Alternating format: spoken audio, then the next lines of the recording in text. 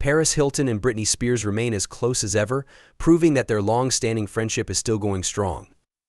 The 43-year-old hotel heiress recently shared in an interview on Talk Shop Live that the pop superstar often visits her Los Angeles home, which she shares with her husband Carter Reum and their young children's son Phoenix, who is one year old, and daughter London, who is just nine months old. Britney was here a couple of weeks ago because she loves visiting the babies, especially little Phoenix Hilton revealed with a smile. It's the cutest thing seeing her with the babies. She just adores kids.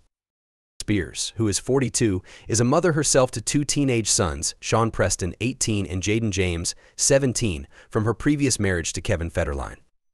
Despite the challenges she has faced, Spears continues to find joy in spending time with Hilton's children. In addition to her visits, Spears has also been enjoying Hilton's new music. Hilton, who is set to release her latest album, Infinite Icon, on September 6th, mentioned that Spears has already had a chance to listen to some of the tracks and even dance to them with Baby Phoenix. According to Hilton, Spears has particularly enjoyed Chasin' a track featuring Meghan Trainor and I'm Free which features Rina Sawayama. This musical connection is nothing new for the two friends. Hilton reminisced about the days when she and Spears would drive around Los Angeles with Hilton's songs playing on repeat. One of their favorites was Hilton's 2006 hit Stars Are Blind, which became a sort of anthem for their nights out.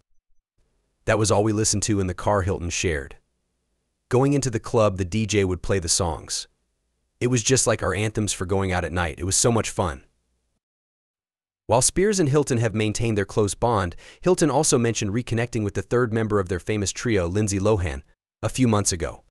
The two have bonded over their shared experience of motherhood, with Lohan recently becoming a mom herself. As Hilton prepares for the release of her new album, it's clear that the deep friendships she has with Spears and Lohan continue to be an important part of her life.